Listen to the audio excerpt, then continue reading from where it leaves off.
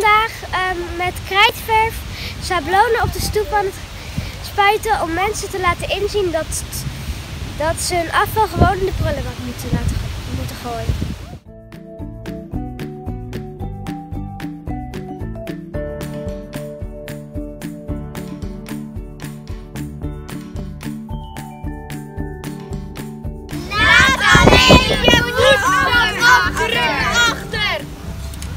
Super trots op deze kinderen. Dat ze zulke goede kreten verzinnen, ze hier spuiten, dit doen en de rommel opruimen. Maar tegelijkertijd ook een andere kant.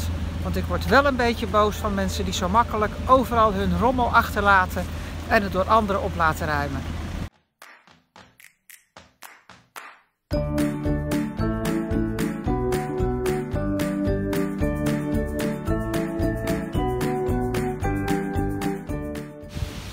En wat vind je ervan dat toch veel mensen troep zomaar op de straat gooien?